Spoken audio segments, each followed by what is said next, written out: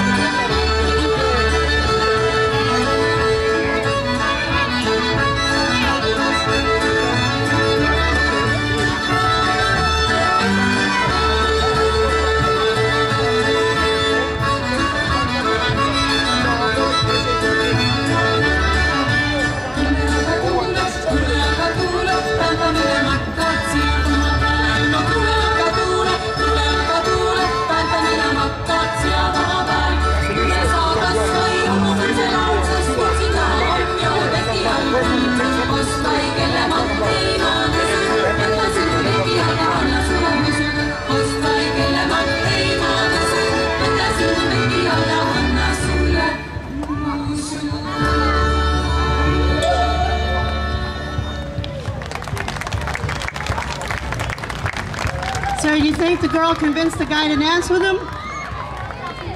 Yes, yes, thank you. The next dance is a courting dance, and it's called Meie Mari Our Maria. Our Maria and his fellow grew up together on a farm. They were the best of friends. They held hands. They went to the mountains. They climbed the rocks. They were always together. When the little girl got to be 18 years old, the aunt came and took her to the, the big city, the college. She went to college, four years, came back, and she looked at her best friend and said, Oh my God, dirty fingernails. Did you ever wash your face? Do you take a bath? So, the moral of this story is, can the girl get the guy back? Can the guy get the girl back? Does the girl want the guy back? Let's see. Meie Mari, our Maria.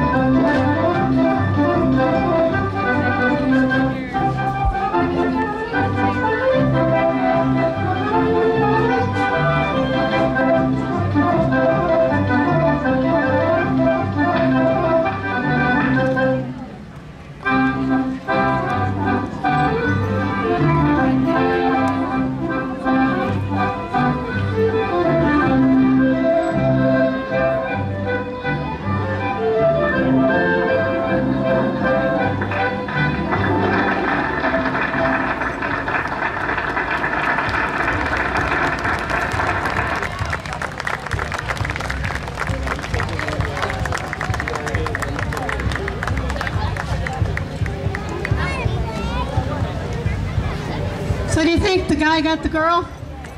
Yeah, of course, always at the end, but it's not really the guy getting the girl, it's the girl gets the guy. Okay, the uh, last dance we're going to do is called Koisyaluku, a courting dance. And as it all, as it goes, dance is for courting, dance is for young people. Well, it's for older people too, but mostly, let's see how I can get my girlfriend to come dance with me. So here the guys are showing off their prowess. They're showing off their dance steps, and they're showing off their wonderful ability to get the girl to come to dance with them. The courting dance called Koisya Loko.